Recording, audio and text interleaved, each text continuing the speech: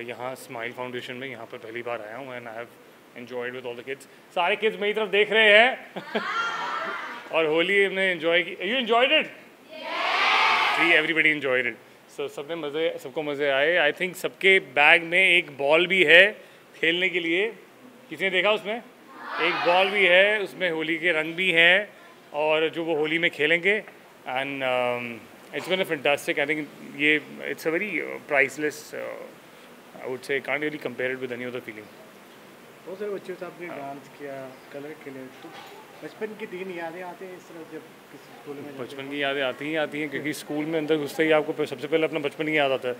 नीचे बैठ के मैं भी वही बात बच्चों से बच्चों के साथ भी शेयर कर रहा था कि जब हम स्टेडियम में कहीं बाहर हमें ग्राउंड में बिठाया जाता था तो घास जो होती थी हम वो घास तोड़ते रहते थे। आई थिंक बाय टाइम वो जब फ़ंक्शन खत्म होता था इवेंट खत्म होता था तब तक आधी घास टूट चुकी होती थी।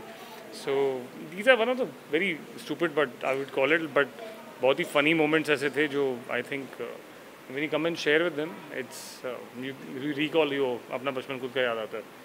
So nothing like it. मैं हमेशा से कहता आया हूँ कि I I think I always have मैं always like Deepika Padukone for it हमेशा से मैंने एक बार काम किया है एड में और आज शी इज़ ब्रिलियंट एक्टर तो हाँ उनके साथ होली खेलना चाहूँगा कभी कलर लगाना चाहेंगे आप आई थिंक लाल रंग सूट करेगा लाल रंग मैं व्यूवर्स को ये कहना चाहूँगा जैसे कि मैंने अभी बच्चों को भी बताया है कि डॉग्स को कलर ना लगाएँ लगाएँ तो इतना सा लगा दें यहाँ तक उनको थोड़ी एलर्जी होती है। तो हमें ये नहीं पता होता हम सोचते हैं कि डॉग्स को कलर लगा देते हैं खेलते हैं उनके साथ। लेकिन वो बड़े टॉक्सिक कलर्स होते हैं और कलर्स में टॉक्सिक कलर नहीं ऑर्गेनिक कलर यूज़ करें गुलाल यूज़ करिए।